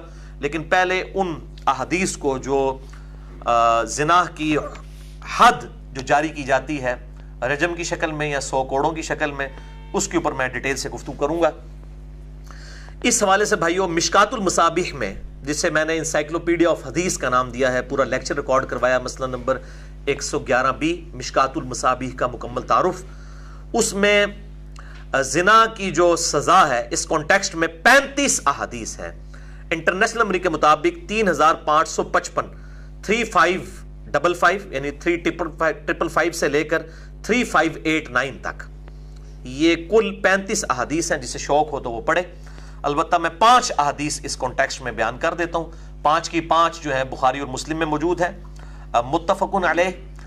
और मिशकात के नंबर भी मैं साथ साथ बताता जाऊँगा। पहली हदीस बुखारी और मुस्लिम की मुतफकुन अलह हदीस है। मिशकात में इंटरनेशनल नंबर के मुताबिक तीन हज़ार चार सौ छियालीस नंबर है। कि आप सल्लल्लाहु अलैहि वसल्लम ने इरशाद फरमाया, जो शख्स ये गवाही दे दे कि ला इलाहा इल्लल्लाह, अल्लाह के सिवा कोई मबूद नहीं, और यह भी गवाही दे दे कि मैं अल्लाह का रसूल हूँ, सल्लल्लाहु अलैहि वसल्लम। तो उसका खून किसी भी सूरत में अल्लाह ताला ने मेरे लिए हलाल नहीं किया कि उसे कत्ल किया जाए, सवाए तीन वजूहत की बिना पर। नंबर एक जान के बदले जान, यानी अगर उसने किसी को कत्ल किया है तो उसके बदले में उसको कत्ल किया जाएगा। वो मसला नंबर 28 मेरा रिकॉर्ड है और मसला नंबर 86 भी। कत्ल मुस्लिम की सजा के ऊपर खुदकश हमलों की शरी हैसियत क्या है? और आजकल जो जिहादी तंजीम है, इसके हवाले से मसला 28 और मसला 86 दूसरा आप सल्लल्लाहु अलैहि वसल्लम ने फरमाया, शादीशुदा जानी मर्द औरत, उनको भी कत्ल किया जाएगा संसार करके, यानी पत्थरों की बारिश करके उनके ऊपर, पत्थर मारकर, ज़मीन में गड़ा खोद कर और तीसरा आप सल्लल्लाहु अलैहि वसल्लम ने फरमाया कि जो शख्स मुर्तद होकर जमात को छोड़कर अलग हो जाए, यानी फसाद फिल अर्द करने वाला, जो आयत मुहारबा आई है, सूरह अलमायदा आयत नंबर 32 और 33 की डिटेल में मैंने मसला नंबर 45 भी और मसला नंबर 49 गुस्ताख रसूल की सज़ा से मुतलिक और गुस्ताहाना फ़िल्में और कार्टून इनके मुतालिक रिकॉर्ड करवाए हैं, दो लेक्चर। उसमें मैंने बताया था गुस्ताख रसूल जो है, अगर फसाद फिल अर्द करना शुरू कर दे, एक तो है कि किसी से कोई जुमला निकल गया तो उसे तोबा करवाई जाएगी। ये नहीं है कि उसको कत्ल किया जाएगा, जी गुस्ताख रसूल की तोबा ही कबूल नहीं है। ये इमाम ने तैमिया ने एक ऐसा टीका उम्मत को लगाया है, जो ब्रलवी दोबंदी अहदी शिया सब की सब नहीं ले लिया है, कि जी, अब तोबा ही कबूल नहीं है। यानी मुशरक की तोबा कबूल है, दुनिया में अगर तोबा कर ले, वो कहते हैं गुस्ताख रसूल की तोबा कबूल नहीं है। तो मैंने उनके ऊपर गिरफ्त की थी इस हवाले से मसला नंबर 49 के अंदर कि नहीं, तोबा उसकी कबूल होगी। क्यों नहीं कबूल होगी? उससे बड़े गुनाह की तोबा है। जो आदि मुजरिम हो जाए, फसाद फिल अर्द करने वाला हो, उसके ऊपर फिर जो है वो फसाद फिल अर्द की सजा लगेगी, उसे कत्ल किया जाएगा। ये अलग से टॉपिक है, मैं स्किप करता हूँ, मैंने इशारतन ये बात कर दी यहाँ पर। तो ये यहाँ पर क्लियर कट आया कि शादीशुदा मर्द औरत अगर जिना करेंगे, उनकी सजा जो है वो कत्ल होगी, संसार इस पे अहल सुन्नत और अहल तशैय, बल्कि पूरी इंसानियत का इजमा है। यहूद नसारा के यहाँ भी तौरात के अंदर, इंजील के अंदर आयात पाई जाती हैं। इवन हिंदुओं की किताबों के अंदर भी ये आयात इस किस्म की मौजूद हैं, जो उनके बकौल जो है वो अल्लाह ताला की तरफ़ से रिवील्ड है। इसलिए मैं आयत का लफ्ज उसके लिए बोल रहा हूँ। दूसरी हदीस भी सही बुखारी और सही मुस्लिम की मुतफ़ुन हदीस है, और मिशकात में उस चैप्टर में पहली हदीस यही है। Three double five, three triple five, पैंतीस पचपन। मिशकात में और बुखारी मुस्लिम दोनों में है कि आप सल्लल्लाहु अलैहि वसल्लम के सामने एक जिना का मुकदमा पेश हुआ। एक कंवारे लड़के ने एक शादीशुदा औरत के साथ जना किया। तो आप सल्लल्लाहु अलैहि वसल्लम ने उस कंवारे लड़के को सौ कोड़े लगवाए, उसी सूरत नूर की आयात के तहत, और एक साल के लिए जिला वतन कर दिया। यानी उसको आप समझ लें कि उसके इलाके से एक साल के लिए निकलने का हुक्म दे दिया और उस औरत को रजम किया गया, संसार किया गया। और ज़ाहिर है ये दहशत के लिए इतनी सख्त सजा। तीसरी हदीस भी बुखारी और मुस्लिम की मुतफ़ुन हदीस है। मिशकात में तीन हज़ार पाँच सौ उनसठ। थ्री डबल फाइव नाइन है और बुखारी मुस्लिम दोनों में मौजूद है। कि एक यहूदी मर्द औरत का जो शादीशुदा थे, उनके जना का मुकदमा आप सल्लल्लाहु अलैहि वसल्लम के सामने पेश किया गया। तो आपने फरमाया कि तुम तौरात लेकर आओ? तौरात में तुम क्या पाते हो? तो उन्होंने झूठ बोल दिया। यहूदियों ने, उन्होंने कहा कि तौरात में तो यह है कि इनको हम जो है वो कोड़े मारेंगे और इनको जो है वो पब्लिकली जलील करेंगे। तो आपने फरमाया रजम के बारे में क्या बातें हो तौरात में? उन्होंने कहा, जी, रजम की तो सजा नहीं है। तो आप सल्लल्लाहु अलैहि वसल्लम ने तौरात मंगवाई और तौरात के सबसे बड़े आलिम उस वक्त तक इस्लाम कबूल कर चुके थे। सैदना अब्दुल्ला इब्न सलाम, जिनका ज़िक्र कुरान में इशारत सूरत अहकाफ में मौजूद है। तो जिनके बारे में बुखारी में हदीस है कि किसने रूए अर्श पे चलता फिरता कोई जन्नती देखना है तो अब्दुल्ला इब्न सलाम को देख ले। ये वो है। रज़ी अल्लाह सलाम। तो अब्दुल्ला इब्न सलाम को आप सल्लल्लाहु अलैहि वसल्लम ने बुलवाया। ज़ाहिर है कि आप तो पढ़ना नहीं जानते थे, ये आपकी खसूसियत थी आप उम्मी थे तो उन्होंने तौरात पढ़नी शुरू की और जिन आयात के अंदर रजम का हुक्म था, उस पर हाथ रख लिया। तो अब्दुल्ला इबन सलाम रदी अल्लाह ने कहा कि अपना हाथ उठाओ, बताओ इसके नीचे क्या लिखा है। तो उसने कहा कि मोहम्मद सल्लल्लाहु अलैहि वसल्लम, हम तस्दीक करते हैं आपके सहाबी की वाकई तौरात के अंदर भी सजा रजम की लिखी है और यह आज तक मौजूद है। और अल्लाह ताला भला करे, मौलाना मदूदी रही का उन्होंने तौरात से वो सारी की सारी आयात नकल भी कर दी हैं तफीमुल कुरान के अंदर, इन्हीं आयात के कॉन्टेक्स्ट में। और ज़ाहिर है वही कर सकते थे। आप इवन पुरानी सारी तफसीर उठा के देख लें, इबन कसीर उठा के देख लें और बाकी मुफसरीन किसी ने तोरात से हवाले नहीं पेश किए, बस हमारी अहादीस और आयात की रोशनी में उन्होंने कह दिया तो रात में मौजूद है। ये मौलाना मदूदी की जो है वो खिदमत है बहुत बड़ी कि उन्होंने वो आयात तलाश की हैं, किताबुल इस्तिसना चैप्टर से। और आज भी वो जो तोरात मौजूद है, उसके अंदर वो मौजूद है। वो आयात उन्होंने सारी की सारी नकल की हैं। अल्हम्दुलिल्लाह। तो बहरल फिर उनको रजम कर दिया गया। तो इसीलिए मैं कहता हूँ कि अहले किताब का भी, अहले सुन्नत का, अहले तशैयों का और जूज और क्रिश्चियंस का पूरी इंसानियत का इजमा है इस रजम की सज़ा के ऊपर। लिहाजा अमीन अहसन इसलाई साहब हों या जावेद अहमद गामदी साहब हों, मैं इनकी बड़ी इज़्ज़त करता हूँ और यकीन इनकी बड़ी इस्लाम के लिए खिदमत है। अमीन अहसन इसलाई साहब की जो तदब्बरकुरान है, इसमें कोई शक नहीं है कि कुरान हकीम की बेस्ट तफसीर में से है। और खसूस कुरान का जो नज्म उसके अंदर बयान हुआ है वो बाज़ एतबार से तफीमुल से भी बेहतर है, जो नज़म के पॉइंट ऑफ़ व्यू से डिस्कशन हुई हुई है। और जावेद अहमद गामदी साहब बहुत इंटेलेक्चुअल पर्सनैलिटी हैं, हम उनका एहतराम भी करते हैं। मैंने कई दफ़ा अर्ज़ किया है कि मैं अपना मुर्शिद उनको मानता हूँ कई मामला में। लेकिन जिन मामला में उनके अकायद और नज़रियात हमारे बुज़ुर्गों से टकराते हैं, बुज़ुर्गों से मुराद ये बरेलवी देवबंदी अलदी शिया और इंडिया पाकिस्तान के बुज़ुर्गों की बात नहीं कर रहा मुहदसिन की। इमाम बुखारी की, इमाम मुस्लिम की सही इसनाद अहदीस से जो उनके मामला टकराते हैं, उस मामले में हम उनको सही नहीं समझते। और उसमें एक रजम की सज़ा का इशू भी है, जिसका वो इनकार करते हैं। यानी वो यहाँ तक मानते हैं कि रजम की सजा आप सल्लल्लाहु अलैहि वसल्लम ने दिलवाई, लेकिन वो कहते हैं कि कैटेगोरिकल डिनाई नहीं करते उस सजा का। वो कहते हैं कोई अगर आदि मुजरिम है जानी, उसको रजम करवाया जाएगा, आम शादीशुदा जो है उसको कोड़े ही लगाए जाएँगे। कुरान की रू से वो इस किस्म के जो मामला को डिटेक्ट करते हैं। तो मैं अब इसके ऊपर अगर लेक्चर दूँ तो मुझे घंटों चाहिए। तो चूँकि काम एक पहले एक शख्स ने कर दिया है, उम्मत के बहुत बड़े एक स्कॉलर और खुद गामदी साहब के उस्ताद, और वो गामदी साहब अमेरिका में जब क्वेश्चन आंसर सेशन कर रहे थे ना तो उनसे किसी ने पूछा कि आपकी हम बात क्यों सुने? आपके पास तो डिग्री कोई नहीं है। तो उन्होंने कहा कि इमाम मुनीफा के पास भी कोई डिग्री नहीं थी। वाकई वो भी एक कपड़े के ताजर थे। बड़ी सही एंटी वैनम दिया उन्होंने। उनका मैं बरेलवी और देवबंदी उलमा से पूछता हूँ कि इमाम मुनीफा के पास कौन सी डिग्री थी? किस मदरसे की? वो तो कपड़े की तजारत का काम करते थे। ये तो पार्ट टाइम उनका बिज़नेस था ना, दावत और तबलीग का काम। तो अगर उनके पास डिग्री नहीं थी तो मेरे पास फिर उन्होंने कहा, मेरे पास डिग्री नहीं है, लेकिन मेरे उस्ताद वो हैं कि जो अपने जमाने के सबसे बड़े उस्ताद हैं। तो उन्होंने कहा कि पहले नंबर पर मौलाना मदूदी रही और दूसरे नंबर पर अमीन एहसन इसलाई साहब। रही मैं उनके लिए दुआएँ रहमत ही करूँगा। क्योंकि मेरे जो मुर्शिद हैं, डॉक्टर इसरार साहब, मैं जिनके साथ कई मामला में इख्तलाफ भी करता हूँ, उसके बावजूद कुरान के हवाले से जो उनकी खिदमत है, मैं दिल से उनकी रिस्पेक्ट करता हूँ। उनके भी उस्ताद यही दोनों पर्सनैलिटीज हैं। अमीन एहसन इसलाई साहब और मौलाना मदूदी साहब रही वसलाम अजमाइन तो गामदी साहब ने कहा कि मेरे उस्ताद जो हैं, वो मौलाना मदूदी और अमीन एहसन इसलाई साहब हैं। और उन्होंने, फिर उन्होंने कहा, जी, उन उस्तादों ने आपको कोई डिग्री नहीं दी? तो उन्होंने कहा कि जो सही उस्ताद होते हैं, वो डिग्रियाँ नहीं दिया करते, वो अपने शगिर्दों को दुआएँ दिया करते हैं।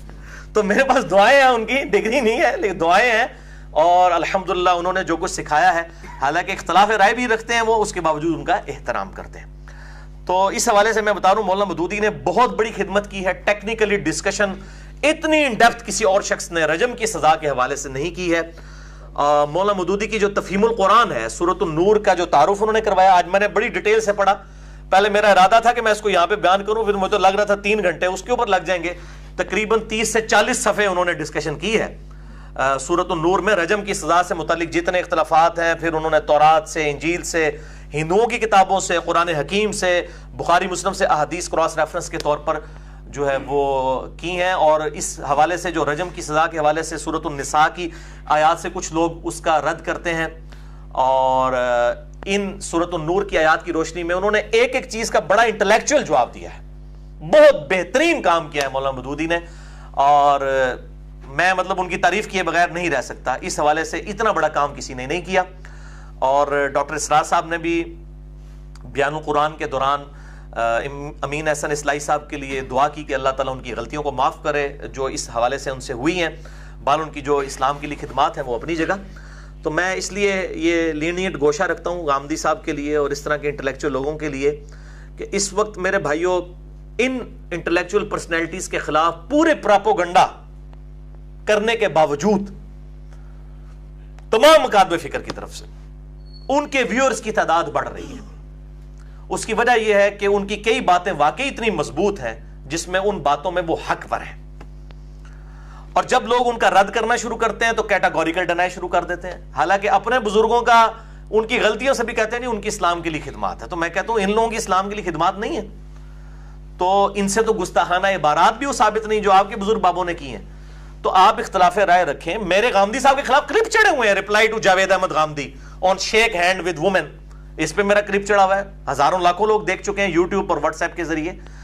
और इसी तरीके से नजूल ईसा वाले इशू के ऊपर और पर्दे के ऊपर इस तरह के इशू, हम इख्तलाफे राय रखते हैं। दाढ़ी के मसले में मसला नंबर थर्टी थ्री मेरा रिकॉर्ड है।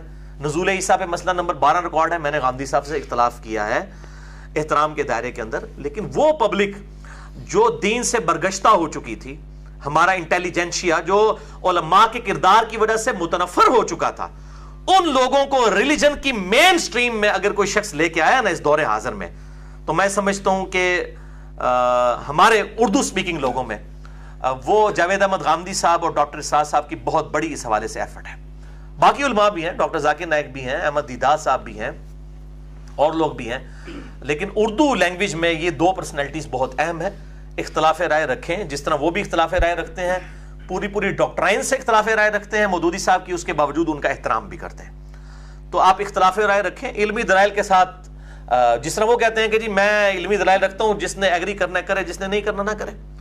तो ये कहते हैं ना जी, हमारे उलमा के लिए नरम गोशा नहीं रखता तो ये गांधी साहब के लिए क्यों रखता है? मेरे भाई, आपके मौलवी दीन से रोटी कमा रहे हैं और दीन को जानबूझ के बदल रहे हैं, अपनी किताबों को नहीं मानते हैं, इसलिए हम उनके साथ ज़्यादा सख्त रवैया रखते हैं, क्योंकि वो दीनी पर्सनैलिटी होने का दावा करते हैं। जबकि गांधी साहब के अंदर इस तरह की चीज़ें मौजूद नहीं है।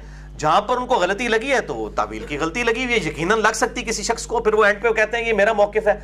वो किसी की तकफीर नहीं करते, किसी को इस्लाम से बाहर नहीं निकालते हैं। लेकिन बाकी मकाद फ़िक्र के उलमा जब रद्द करते हैं तो बाकियों को इस्लाम से ही बाहर निकाल देते हैं। तकफीर करना शुरू कर देते हैं। लिहाजा इस हवाले से अगर कंपैरिजन किया जाए तो फिर हमें उनको बेनिफिट ऑफ़ डाउट देना पड़ता है उलमा के मुकाबले पे। पहले अपनी अखलाकी अकदार और अपना एटीट्यूड गांधी साहब वाला करें, फिर हमसे तो करें कि हम उनके लिए पॉजिटिव अल्फाज इस्तेमाल करेंगे। जब आपके अखलाकी अकदार गिरे हुए हैं और आप इस हद तक हटदर्मी का शिकार हैं कि आप जो है वो कुरान सुन्नत को, वाजी दलाइल को बदल देते हैं और फिरकों के नाम के ऊपर आप मस्जिदों को अलग करके, मुसलमानों की तकफीर करके रोटी रोजी और कुर्बानी की खालें, फितराने, चंदे ये इकट्ठे करते हैं तो ज़ाहिर है फिर आप किस तरीके से उन लोगों का मुकाबला कर सकते हैं? अपने आप को पहले इन चीज़ों से आज़ाद करें, फिर आपको उस तरह का टाइटल भी दिया जाएगा। तो मैं बात करूँ कि गांधी साहब के खिलाफ पूरा प्रापोगंडा करते हैं, या ब्रजम के ऊपर अब ज़ाहिर है कि ये सारे का सारा, अब ये भी जो मेरे क्लिप चढ़ रहे हैं, ये गांधी साहब के खिलाफ ही चढ़ रहे हैं बेसिकली तो मैं उनकी पॉजिटिव चीज़ों को पॉजिटिव समझता हूँ। उनको भी मशवरा दूँगा कि तफीमुल कुरान को, अपने उस्ताद की किताब को, कुरान की इस तफसीर को, इसका पी डी एफ़ हमने अहल सुन्नत पाक डॉट कॉम पर भी रखा हुआ है। उसको एक दफ़ा दोबारा पढ़ें और नज़र जहानी फरमाएँ इस हवाले से। अब बाकी इन तमाम चीज़ों के बावजूद हम आ, उनका एहतराम करते हैं। तो मेरे भाइयों चौथी हदीस इसी कॉन्टेक्स्ट में सही बुखारी और सही मुस्लिम की मुतफकुन हदीस है। आप देख लें ये सारी मुतफकुन अहदीस है। एब्सोल्युटली बुखारी में नहीं है कोई ना ना मुस्लिम में। बुखारी मुस्लिम दोनों में। और मिशकात में इसका नंबर है तीन हज़ार पाँच सौ साठ उसी चैप्टर में। कि एक सहाबी आप सल्लल्लाहु अलैहि वसल्लम के पास आए उन्होंने कहा कि या रसुल्ला सल्लल्लाहु अलैहि वसल्लम मुझसे जिना हो गया। तो आपने अपना चेहरा अनवर उनसे फेर लिया। ये मैंने कई लेक्चर्स में कहा कि सहाबा से जना भी हुए, बाकी मामला भी हुए, लेकिन उन्होंने कभी हजूर पे हदीस नहीं घड़ी। तो कई लोगों ने कहा, ये क्या कह रहा है? तो ये हदीस बुहारी मुस्लिम में मौजूद है। तो मैं इसलिए हवाला दे रहा हूँ कि इस तरह के मामला ज़ाहिर इंसान थे ना, वो फरिश्ते तो नहीं थे, ना वो पैगंबर थे, गलती हो सकती थी उनसे। फिर वो जो है दूसरी तरफ़ से है कहा या रसुल्लम मुझसे जना हो गया, आपने रुखे अनवर फेर लिया। यानी आपने इसको अवॉइड किया। चार दफ़ा जब उसने अपने खिलाफ गवाही दी तो आप सल्लल्लाहु अलैहि वसल्लम ने पूछा कि तुम पागल तो नहीं? उसने कहा यार मेरा जहनी तोज़न ठीक है। फिर आप सल्लल्लाहु अलैहि वसल्लम ने फरमाया, शादीशुदा उन्होंने कहा, यार जी हाँ। तो फिर आप सल्लल्लाहु अलैहि वसल्लम ने उसे रजम करवा दिया, संसार करवा दिया। और फिर आप सल्लल्लाहु अलैहि ने उसके लिए कलम खैर फरमाया और ख़ुद आप सल्लल्लाहु अलैहि ने उसके लिए नमाज़ जनाजा भी पढ़ाई, उसके लिए दुआ फरमाई। अल्हम्दुलिल्लाह। यानी ये नहीं है कि अब वो उसने तोबा कर लिए तो अब उसको बाद में भी मतरून किया जाएगा, ऐसा नहीं। पांचवी हदीस भी बुखारी और मुस्लिम की मुतफक उन्होंने हदीस है और मिशकात में तीन हज़ार पाँच सौ इकसठ है और मिशकात ही में तीन हज़ार पाँच सौ बासठ भी है, मुस्लिम के हवाले से डिटेल से और बुखारी मुस्लिम दोनों के हवाले से। यह मशहूर हदीस है, माइज बिन मालिक असलमी और की हदीस, कि उनसे जना हुआ, आप सल्लल्लाहु अलैहि वसल्लम की खिदमत में हाजिर हुए, कहा, या रसुल्ला मुझे पाक कर दीजिए। तो आप सल्लल्लाहु अलैहि वसल्लम ने फरमाया, जाओ, अल्लाह ताला से माफ़ी मांगो, तौबा करो, अल्लाह ताला माफ़ करने वाला है। यानी आपने वाइड किया। इससे आपको ये पता चलेगा, इस्लाम कंडेम करता है कि इसको पब्लिकली रिपोर्ट भी किया जाए। अब किसी सुना हो गया, वो तौबा कर ले दैट्स एनफ ज़रूरी नहीं उसके ऊपर हाथ जारी की जाए, जब तक के पब्लिकली अदालत में मामला रिपोर्ट ना हो जाए, जो मैंने शुरू में बताया। उसको फिर सबर नहीं आया, दोबारा हाजिर खिदमत हुआ यार मुझे पाक कर दीजिए। आप पर मैं जा, अल्लाह से तौबा कर, अल्लाह माफ़ करने वाला है। चार दफ़ा ऐसा हुआ तो आप सल्लल्लाहु अलैहि वसल्लम ने, अब ज़ाहिर अदालत में मामला आ गया, चार दफ़ा उसने गवाही दे दी, कुरान में भी आया, चार दफ़ा गवाही, चार दफ़ा खुद उसने अपने ऊपर गवाही दे दी तो आप सल्लल्लाहु अलैहि वसल्लम ने फरमाया, इसे चेक करो, ये पागल तो नहीं है, मजनून तो नहीं है। कहा गया, नहीं यार सल्लल्लाहु अलैहि वसल्लम। फरमाया, इसने शराब तो नहीं पी हुई कि नशे की हालत में ना हो तो ये काम कर रहा हूँ। इसने ना किया हो तो लोगों ने उसके मुँह को आके सूंघा, स्मेल ली। तो कहा कि नहीं यार सल्लल्लाहु अलैहि वसल्लम इसने शराब नहीं पी हुई। तो आप सल्लल्लाहु अलैहि वसल्लम ने उसे संसार करवा दिया। और उसके बाद आप सल्लल्लाहु अलैहि वसल्लम ने उसके लिए दुआए मगफरत की और आप सल्लल्लाहु अलैहि वसल्लम ने फरमाया कि इसने ऐसी तौबा की है कि अगर ये तौबा एक जमात के ऊपर तकसीम कर दी जाए तो उनकी मगफरत के लिए काफ़ी हो काफ़ी हो जाए जो इसने तौबा की है सच्चे दिल के साथ। फिर आ, कुछ ही अरसे के बाद एक औरत आ गई, यानी जिसके साथ उन्होंने ये मामला किया हुआ था।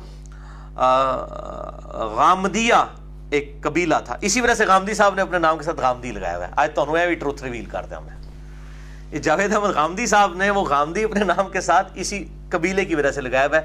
वो जो गामदी कबीले की औरत थी जिसने ये मामला किया था, वो आप सल्लल्लाहु अलैहि वसल्लम के पास हाजिर हुई। तो आप सल्लल्लाहु अलैहि वसल्लम ने उसको भी अवॉइड किया। कहा, जा अल्लाह से तोबा कर। उसने कहा, यार आप मेरे साथ वही सलूक कर रहे हैं जो आपने माइज के साथ किया था। हालाँकि मैं तो हमला हो चुकी हूँ, मेरे तो जना वाले मामले में कोई शक भी नहीं रह गया। तो आप सल्लल्लाहु अलैहि वसल्लम ने फरमाया कि इस तरह करो कि तुम वजह हमल का इंतज़ार करो, ये बच्चा पैदा हो जाए। बच्चा पैदा हुआ, फिर आपकी खिदमत में हाजिर हुई। आप देखें जनाब, इतना अरसा उसने सूली पे, समझे कि काटा है। या मुझे पाक कर दीजिए। आपने फरमाया कि इस औरत को कहो कि अब ये इस बच्चे को दूध पिलाए, कम अज कम इस काबिल करे कि ये रोटी खाने वाला हो जाए। दो साल तक दूध पिलाया, फिर वो औरत उस बच्चे को लेके आई, उसके हाथ में रोटी थी, उसने कहा यार रसुल्ला आप देख लीजिए कि ये रोटी खाने के काबिल हो गया आप ये देखें, दो साल उसने किस तकलीफ़ में काटे। ये है पैशन और अल्लाह ताला की तरफ़ रुजू लाने का जज्बा। यानी आखिरत की किसी को अजाब का पता होना तो दुनिया की सजा तो कुछ भी नहीं है। तो आप सल्लल्लाहु अलैहि वसल्लम ने फरमाया कि इस औरत के ऊपर जो है वो हद जारी की जाए। खालिद इबन वलीद रदी अल्लाह ने उसको पत्थर जब मारा तो उसके खून के छींटे जो हैं वो हज़रत खालिद इबन वलीद के चेहरे के ऊपर पड़े तो उन्होंने उसके ऊपर लानत की। तो आप ने हज़रत खालिद इबन वलीद को डांटा। बुखारी मुस्लिम के अल्फाज है। आपने फरमाया, इसने तो वो तोबा की है कि अगर ये इन लोगों के ऊपर तकसीम कर दी जाए हती कि जो शख्स महसूल है, यानी ज़बरदस्ती किसी से चुंगी और टैक्स वसूल करने वाला जालिम शख्स भी अगर इस तरह की तोबा कर ले, अल्लाह ताला उसको भी माफ़ कर देगा जिस तरह की तोबा इस गामदिया कबीले की औरत ने की है। तो आप सल्लल्लाहु अलैहि वसल्लम ने इस हवाले से उनको डांट दिया। ये अल्फाज भी जो हैं सही बुखारी और सही मुस्लिम के अंदर मौजूद हैं। और अबू दाऊद और तिरमजी के अंदर इसी हदीस की आगे एक्सप्लेनेशन आती है मिशकात में तीन हज़ार पाँच सौ पैंसठ है कि वो जो माइज नामी सहाबी थे वो जब उनको पत्थर लगे तो वो भाग गए। तो साहबा ने फिर भी उनको पकड़ के कत्ल कर दिया आ, पत्थर मार के। तो आप सल्लल्लाहु अलैहि वसल्लम तक ये बात पहुँची तो आपने फरमाया जब वो भाग गया तो उसको छोड़ देते। शायद अल्लाह से तोबा करता तो अल्लाह ताला उसको माफ़ कर देता। यानी आप आखिरी दर्जे तक कोशिश कर रहे हैं कि किसी तरीके से हरीसन अलैकुम बिल मोमिनीन रऊफ रहीम। कि कोई माफ़ी वाला मामला हो जाए। यानी इस्लाम इस चीज़ को कंडेम करता है कि इसको पब्लिकली इन चीज़ों को जो है वो रिपोर्ट किया जाए, बल्कि इनके ऊपर पर्दा डालने ही में आफियत है। तो इस हवाले से एक और हदीस बड़ी अहम है, मैं यहाँ पर बयान कर दूँ। मसला नंबर 106 में भी मैंने बयान की थी। सही मुस्लिम के अंदर मौजूद है और मिशकात के अंदर 575 नंबर है। 575 कि एक सहाबी आप सल्लल्लाहु अलैहि वसल्लम की खिदमत में हाजिर हुए, या रसुल्ला सल्लल्लाहु अलैहि वसल्लम, मैंने आज जो है वो मदीना शरीफ के अतराफ में एक औरत के साथ जो है वो तब आजमाई की है। मैंने इंटर कोर्स करने के अलावा उस औरत के साथ हर किस्म की बुराई की है, सवाए इंटर कोर्स करने के। यानी वो जमा वाला मामला नहीं किया। तो आप सल्लल्लाहु अलैहि वसल्लम ने इरशाद फरमाया, जा, अल्लाह ताला से तौबा कर। अल्लाह ताला माफ़ करने वाला है। और आप सल्लल्लाहु अलैहि वसल्लम ने कुरान हकीम की आयत भी तलावत फरमाई। कि नमाज़ को कायम रखो दोनों, दिन के दोनों सिरों के ऊपर और दीन के औकात के अंदर बेशक जो नेकियाँ हैं वो बुराइयों को मिटा देती हैं। मसला नंबर 106 मैंने इसी के ऊपर रिकॉर्ड करवाया था। तो इससे बात पता चली, जब तक इंटर कोर्स नहीं होगा, उस वक्त तक वो सजा जना वाली लागू नहीं होगी। फिर इससे लोगों ने दूसरे मतलब भी लेने शुरू किए कि ठीक है जी, आप डेट्स मारना शुरू कर दें, औरतों के साथ बाकी काम करें, ये काम ना करें। तो उसके रद्द में फिर मैंने बताया था कि ये एक वाक्य है। अगर कोई आदि मुजरिम है तो गुनाह कबीरा की कैटेगरी में फॉल करेगा। मसला नंबर 106 मैंने इसी पे रिकॉर्ड करवाया है। यूनिवर्सिटीज और कॉलेजेस के स्टूडेंट्स लड़के और लड़कियों की डेट्स के ऊपर मुलाकातें, और इस हवाले से मैंने इस हदीस को भी वहाँ पर बयान किया था, और बड़ी डिटेल के साथ अल्हम्दुलिल्लाह मैंने गुफ्तु रिकॉर्ड करवा दी है। बल्कि इस हवाले से जितनी गुफ्तु आज मैंने रजम की सजा के हवाले से ये कर दी। बाकी तफीमुल कुरान जिसे शौक हो तो वो पढ़ सकते हैं। उसमें बड़ी डिटेल के साथ इस तरह के इशूज रिजॉल्व किए गए हैं। अब अगली पाँच आयात पढ़ लेते हैं। इंशाल्लाह अगली दफ़ा हदीसुल यानी सैयद आयशा पर जो तोहमत लगाई गई माजल्ला बदकारी की, उस हवाले से जो बुखारी और मुस्लिम की अहादीस है, मैं उनको डिटेल से डिस्कस करूँगा। क्योंकि उन्हीं के कॉन्टेक्स्ट में सईद आयशा की बरात के लिए अल्लाह ताला ने दस आयात नाजिल फरमाई सूरत नूर की आयत नंबर ग्यारह से लेकर बीस तक ये सईद आयशा की बहुत बड़ी फजीलत है क्यामत तक के लिए, उनकी जो इसमत वाला मामला है। बाकी सईद आयशा से जो दूसरी गलतियाँ हुई हैं, वो ये आयात उनको कवर नहीं करती हैं। जो जंग जमल वाला मामला है, उसके ऊपर अलग से अहादीस मौजूद है। कुरान हकीम की भी आयात हैं कि नबी की बीवियों घरों में ठहरी रहो। तो इस हवाले से जो उनसे वो इजतहादी गलती हुई और उन्होंने माफ़ी भी सैद अली से मांग ली और सैद अली ने उनको माफ़ भी कर दिया और फिर वो मरते दम तक रोती भी थी कि नबी सल्लल्लाहु अलैहि वसल्लम के बाद मुझसे ये क्या हुआ? मुसनफ़ इबन अबी शैबा में, सही बुखारी में मुसनद अहमद में कई अदीस मौजूद हैं। हदीस हौब के ऊपर पूरा बाप बांधा है। शेख नासुद्दीन अलबानी ने। और मेरा जो रिसर्च पेपर है वाक़ करबला का हकीकी पस मंज़र बहत्तर सही इस्नाद हदीस की रोशनी में, जंग जमल सिफीन नहरवान के हवाले से, उसमें मैंने वो तमाम अहदीस सईद आयशा के हवाले से बयान की हैं। वो जो उनकी गलती है, वो मामला अलग है। जो उनके ऊपर जना की तोहमत लगी, वो मामला अलग है। उस मामले में सैयद आयशा की अगर कोई तोहिन करता है तो वो काफिर है। और अलहमदुल्ला कोई मुसलमान सैयद आयशा के ऊपर इस तरह की तोहमत उनके किरदार के हवाले से नहीं लगाता, बल्कि किसी नबी की बीवी ने बदकारी नहीं की, काफिरा ज़रूर हुई है। सैदना लूत अलैहिस्सलाम सैदना नू अलैहिस्सलाम की बीवियों का ज़िक्र है। सूरह तहरीम की आखिरी याद में कि वो काफिरा थी। लेकिन बदकारी वाला मामला किसी नबी की बीवी के साथ कभी भी नहीं हुआ। तो ये वाला मामला अगर कोई करता है, और अलहमदुल्ला कोई सुन्नी हो, शिया हो, इस तरह की कोई ज़रूरत नहीं करता।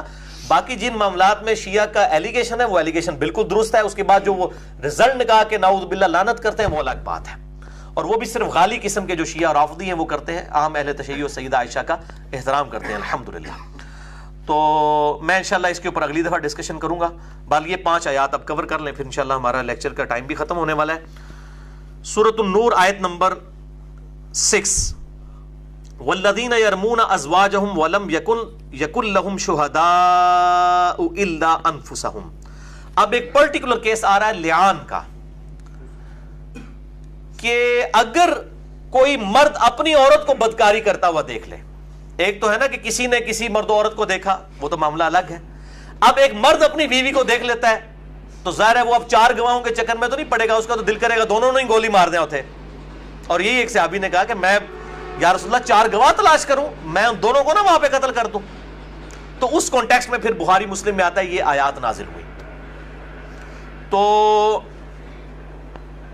अगर कोई मर्द अपनी बीवी को ये बुराई करता हुआ देख ले, उसको अब चार गवाहों की ज़रूरत नहीं है, उसके लिए लियान का मसला यहाँ पर आ रहा है। कि अगर कोई शख्स तुम में से कोई खामन अगर अपनी बीवी के ऊपर इस हवाले से तोहमत लगाए, झूठी या सच्ची, वो बाद में फैसला होगा।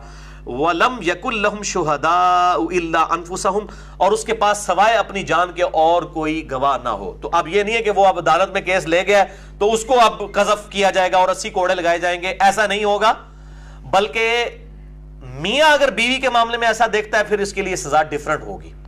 वो क्या है? फशहादत फशहादत अहादिहिम अरबाउ शहादातिम बिल्ला तो उसका तरीका यह है कि खामंद चार दफ़ा गवाही देगा कि मैंने अपनी बीवी को यह बुराई करते हुए खुद देखा और वो बुराई से मुराद सिर्फ़ मर्द औरत का एक जगह लेटा होना नहीं, बल्कि इंटरकोर्स की हालत में। और वो चार दफ़ा गवाही दे। इन नहूलमिन सादिकीन, के बेशक वो सच कह रहा है। चार दफ़ा वो ये बात करे। वल लानतल्लाहि अलैहि और पांचवी दफ़ा वो ये कहे कि अल्लाह की लानत हो उस पर। इन काना मिनल कादिबीन, अगर वो झूठ बोल रहा है। ये है लियान। चार दफ़ा वो कहे कि मेरी बीवी ने ये काम किया और पांचवी दफ़ा फिर वो कहे कि अगर मैं झूठ बोल रहा हूँ तो मुझ पर अल्लाह की लानत हो। बस ये काफ़ी होगा। अगर उसका झूठा इल्ज़ाम है तो उस पर कजफ नहीं होगी, बल्कि वो मामला फिर इस हवाले से टल जाएगा। हाँ अगर वो खुद जुर्म मान लेता है, फिर तो उसके ऊपर ज़ाहिर वाला मामला होगा। अच्छा। अब इसके जवाब में अगर ये झूठी तोहमत है तो औरत को भी दिफा का हक हासिल है। या औरत फिर झूठा भी यह कह सकती है कि मैंने ये नहीं किया तो दोनों सूरतों में। वह यद अनहल आजाब और औरत भी अपने ऊपर आए हुए इस अजाब को, यानी सजा को टाल सकती है, यानी वो रजम की सजा को टाल सकती है। अंतशहदा अरबा शहदातिम बिल्ला कि वो चार दफ़ा गवाही दे दे अल्लाह ताला की। कहे अल्लाह की कसम उठा के कहे कि मैंने ये जना नहीं किया। इन नहुलमिनल कादिबीन के मेरा खामद जो है वो झूठ बोल रहा है। वल खामिसता, और पांचवी दफ़ा कहे, अन्ना गदब अल्लाह के मुझ पर अल्लाह का गजब नाजिल हो। इन काना मिन सादिकीन, अगर मेरा मर्ज सच्चों में है और मैं झूठ बोल रही हूँ तो मुझ पर अल्लाह की लानत हो, अल्लाह की तरफ़ से अजाब नाजिल हो। तो अब अगर वो दोनों ये बात करेंगे तो अब ज़ाहिर दोनों में से तो एक सच कह ही रहा है। तो अब यह है कि इसको फिर सजा नहीं दी जाएगी और फिर ज़ाहिर है कि मियाँ बीवी के दरमियान अलादगी करवा दी जाएगी। फिर तो कोई सूरत ही नहीं है कि इस तरह के मियाँ बीवी साथ रह सकते नेवर और वही सही बुखारी के अंदर, मुस्लिम के अंदर मौजूद है। मैं उस हदीस का वाला भी दे देता हूँ। लेकिन यह आयत अगली मुकम्मल कर ले। वलौला फदलुल्लाकुम और अगर अल्लाह ताला का तुम पर फजल ना होता व रहमतु और उसकी रहमत ना होती। वह अल्लाह तवाबुल हकीम। तो यानी तुम मुश्किल में पड़ जाते और बेशक अल्लाह ताला जो है वो तौबा कबूल करने वाला है, और हिकमत वाला है। यानी उसने जो ये सजाएँ रखी हैं, हिकमत के तहत है, ये कोई जालमाना सजाएँ नहीं है। अब वो लियान के मसले के ऊपर आ जाए आप, कि अगर लियान वाला इशू हो जाता है, इस तरह का एक इशू नबी सल्लल्लाहु अलैहि वसल्लम के मुबारक ज़माने में भी हुआ। इसी कॉन्टेक्स्ट में सही बुखारी में हदीस है इंटरनेशनल नंबर के मुताबिक पाँच हज़ार दो सौ उनसठ फाइव टू फाइव नाइन इसी हदीस पे इमाम बुखारी ने बाप बांधा है, इकट्ठी तीन तलाक का जवाज। जो उन लोगों के गले में अटकी हुई है जो इकट्ठी तीन तलाक को सही नहीं समझते। वो कहते हैं हाँ जी, लियान, वो कहते हैं, जी, इकट्ठी तीन तलाकें देना ही जब कुरान ने हराम किया तो कैसे स्टैब्लिश हो सकती हैं? और यहाँ पे भी मानते हैं, नहीं हो जाएँगी स्टैब्लिश इस मामले में। अगरचे हराम ज़रूर है, लेकिन इस्टेब्लिश हो जाएँगी। आम हालत में तलाक जो है वो अलग अलग ही देनी होगी। मसला नंबर 15 मेरा रिकॉर्ड है एल सुन्नत पाक डॉट कॉम पर इंशाल्लाह कभी मौका मिला, मैं डिटेल से इस पर लेक्चर भी रिकॉर्ड करवाऊँगा। और बहरल इसमें भी जो अल हदीस के यहाँ भी जो, यानी तहकीकी दीन है, शेख ज़ुबैल जई रही हों शेख गुलाम मुस्तफ़ा जहीर साहब हूँ, हमारे जहलम के कई मामला में मुझे इख्तलाफ है, वो तो मुझे मुसलमान भी नहीं समझते, मैं उनकी इलमी कदर करता हूँ। तो उनका भी यही मौक़ है कि कट्ठी तीन तलाक़ें हो जाती हैं, बल्कि अहल सुन्नत के यहाँ तो इजमा पाया जाता है, हनफी, शाफी, मालकी, हम्बली इस हवाले से। और इबन अब्बास की एक ही रवायत है, सही मुस्लिम की, मैंने उसका जवाब दिया, इंशाल्लाह मौका मिला, मैं डिटेल से रिकॉर्ड करवाऊँगा लेक्चर। और बाद जो है वो सऊदी पेड, उलमा ये कह रहे हैं कि जी, ये कहता है जी, इबन तैमिया ने ये मसला उठाया है, और इस जाहिल को पता ही नहीं है, इबन तैमिया को कहता है आठवीं सदी हिजरी का। तो अब इन बेचारों को साइंस तो आती नहीं है, ना इनको मैथमेटिक्स आती है कि भाई इमाम इबन तैमिया सात सौ अट्ठाईस हिजरी में फौत हुए हैं। तो सात सौ अट्ठाईस आठवीं सदी बनती है, सात सौ पूरे होकर अट्ठाईस। इमाम बुखारी को हम कहते हैं तीसरी सदी हिजरी में है। हालाँकि उनकी वफात का सन है दो सौ छप्पन हिजरी। यानी दो सौ मुकम्मल हुए, तीसरी सदी में वो फौत हुए। हालाँकि पैदा वो दूसरी में हुए में एक सौ चौरानवे हिजरी में। लेकिन हम उनको कहते हैं तीसरी सदी हिजरी। उन मौलवियों को पता ही नहीं होना सात सौ अठाई पढ़ लिया वो कहता जी, अली ने कहता है अठवीं ते ए ते नाबालिग मौलवी है। मैं तो भाई मौलवी है ही नहीं भाई। ठीक है ना जी? मौलवी तो तुम लोग हो। तुम बालिग हो के भी ना बालिग हो, बल्कि मैं कहूँगा, बालिग हो के भी ना मर्द हो, इस किस्म दी गल् करके। तो आप अपना, यानी कि इलाज करवाएँ इस हवाले से, अपना इल्मी तौर पे नामर्दी है आपके अंदर, मैं वो वाली दूसरी नामर्दी की बात नहीं कर रहा। तो वो कहते हैं, इनको पता ही नहीं है तो आपको नहीं पता ही आठवीं सदी हिजरी, मेरे भाई, आठवीं सदी हिजरी बनती है, सात सौ अट्ठाईस हिजरी में अहमद इबन तैमिया जो है वो फौत हुए हैं तो आठवीं सदी हिजरी बनती है ये। ठीक है? अच्छा अब आ, उसी में वो क्लिप के अंदर वो कहता है कि जी वो इमाम तहावी ने जो है वो आ, अपनी किताब के अंदर शरा मानी आसार के अंदर नकल किया है कि जी उस जमाने में इमाम तहावी के जमाने में और मैं तुम दस दें कि इमाम तहावी भी चौथी सदी हिजरीद है तीन सौ इक्कीस में फौत हुए लेकिन वो चौथी सदी बनती है तो तीन सौ इक्कीस पढ़ के फिर ना तुम भुलेखा लग जाए। तो कहते हैं इमाम तहावी जो है उन्होंने अपनी किताब में नकल किया है कि इस तरह के ग्रोह भी मौजूद हैं जो तीन को एक समझते थे उस जमाने में। तो वो कहते हैं कि जी देखें इससे साबित हुआ कि वो थे। मैंने अपने लेक्चर में कहा है कि सही सनद के साथ साबित करें। ता, इमाम तावी ने तो दावा किया है। उन्होंने को सनद पेश की है? वो तो फिर फकी मुझसे ले लें। इमाम तिरमजी में इमाम तिरमजी ने जामिया तिरमजी में 257 नंबर हदीस जो है तरके रफुल यदैन वाली इंटरनेशनल नंबर के मुताबिक अब्दुल्ला इब्न मसूद वाली। उसके कॉन्टेक्स्ट में लिखा है कि तरके रफैदैन में कई असहाब रसूल का अमल है। तो वो तो इमाम तिरमजी जो है, तावी से भी पहले गुजरे हैं सौ साल। 279 हिजरी में फौत हुए, तीसरी सदी हिजरी के अंदर। वो कह रहे हैं कि कई साहब रसूल का तरक रफ़ैदैन पे अमल है तो क्या ये सऊदी अरब के पेड़ उलमा मान लेंगे इमाम तिरमजी की इस बात को? तो कहेंगे, नहीं जी, उन्होंने तो बेसनत बात किया अच्छा तिरमजी बेसनत बात करे सहाबा कराम रिदवान के बारे में तो वो एक्सेप्टेबल नहीं होगी और चौथी सदी के इमाम तहावी अगर बात कर दें आपके मतलब की तो बगैर सनद ही कबूल हो जाएगी। मिठा मिठा हाप हाप से कोड़ा कोड़ा थू थू। तो ये मैं इसलिए कहता हूँ कि ये डिग्रियों वाले मौलवी हैं, खुदा के लिए। आइंस्टाइन और न्यूटन जो है ना, वो आप लोग नहीं मान सकते। उसको डिग्री की ज़रूरत नहीं होती। है आप अपनी डिग्रियों की फ़िक्र करें कि जाली हैं कि असली हैं। नहीं तो कम से कम डिग्री हासिल करने के बाद जो है ना, आप इल्म भी हासिल करें। डिग्री तो आ गई आपके पास, इसके बाद इल्म भी हासिल करें। ये तो डिग्री आपको मदरसे के लोगों ने दे दी ना तो डिग्री हासिल करें, सही वाली डिग्री, इल्म वाली डिग्री। तो ये लियान के मसले में भी इमाम बुखारी ने तलाक, इकट्ठी तीन तलाक का जवास, और वो ये बाप बांधा है, जिसमें रवई मर रदी अल्लाह तहो एक सिहाबी हैं, उनके हवाले से हदीस है, सही बुखारी पाँच हज़ार दो सौ उनसठ, फाइव टू फाइव नाइन। उन्होंने आसिम बिन अदी रदी अल्लाह तु एक दूसरे सिहाबी के ज़रिए आप सल्लल्लाहु अलैहि वसल्लम के पास मुकदमा भेजा क्योंकि उनके साथ ये मामला हो गया था कि उन्होंने अपनी बीवी को यह बुराई करते हुए देख लिया था, जिना करते हुए। तो कहा कि अल्लाह के नबी से पूछिए सल्लल्लाहु अलैहि वसल्लम कि अब क्या किया जाए? तो आप सल्लल्लाहु अलैहि वसल्लम पर जो है वही नाजन होने की कैफियत तारी हुई। आप सल्लल्लाहु अलैहि वसल्लम ने फरमाया कि अल्लाह ताला ने इसका हल जो है तजवीज़ फरमाया सूरत नूर की आयात नाजिल हुई। और वो यही कि ये चार दफ़ा गवाही दे दे कि इसकी बीवी ने जरा किया और पांचवी दफ़ा कहे कि अगर मैं झूठा हूँ तो मुझ पर अल्लाह की लानत हो, अल्लाह का अजाब आ जाए। और इसकी औरत वो भी अगर सजा से बचना चाहती है तो ये काम कर दे। और अगर वाकई उसने जुर्म किया तो फिर ज़ाहिर है उसके ऊपर रजम वाला मामला होगा।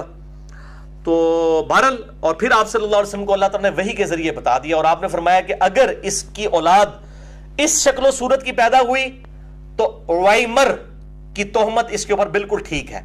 और अगर बच्चा इस शक्लो सूरत का पैदा हुआ, इस कलर का तो फिर इसकी तोहमत गलत है।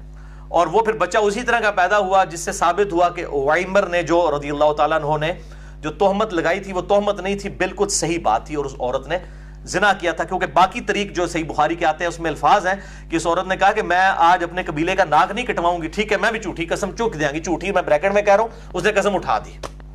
अब आखरत में तो अजाब होना है। दुनिया में तो नहीं होगा, ज़ाहिर है। दुनिया में वो सजा टल गई, लेकिन आखरत में अल्लाह के यहाँ इस मामले में अजाब होगा। तो इस पे उस हदीस के तहत आता है कि जब ये, जब उसने भी झूठी कसम उठा दी तो बगैर इसके कि नबी सल्लल्लाहु अलैहि वसल्लम कोई अगला हुक्म इरशाद फरमाते, उस सहाबी ने उसी वक्त अपनी बीवी को तीन तलाकें दे दी। और उसने कहा, मैं फिर ऐसी औरत के साथ तो नहीं रह सकता, वरना तो मैं सबसे बड़ा मुजरिम हूँ कि मैंने एक पाकबाज औरत के ऊपर तोहमत लगा दी है। तो मैं ऐसी पाकबाज औरत के ऊपर तोहमत लगाने के बाद इसका खामन होने का मैं जस्टिफिकेशन नहीं रखता।